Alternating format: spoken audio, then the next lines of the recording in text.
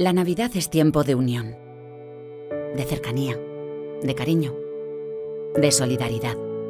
Y aunque sabemos que este año hay que guardar las distancias, también sabemos que la cercanía no solo se mide en metros y que esta Navidad mucha más gente nos va a necesitar.